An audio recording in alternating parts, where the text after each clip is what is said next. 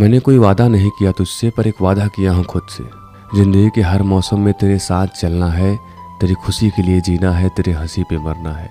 ज़िंदगी के हर मौसम में तेरे साथ चलना है, तेरी खुशी के लिए जीना है, तेरे हँसी पे मरना है।